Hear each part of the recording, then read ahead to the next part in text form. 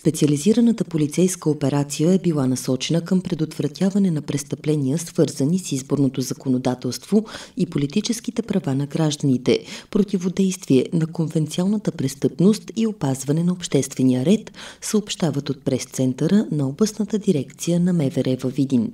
Полицейските екипи са проверявали моторни превозни средства и лица от активния криминален контингент, инспектирали са търговски обекти и питейни заведения. На база на полицейския анализ, след първия тур на местните избори, активната контролна и превентивната дейност е била насочена към рискови населени места в региона.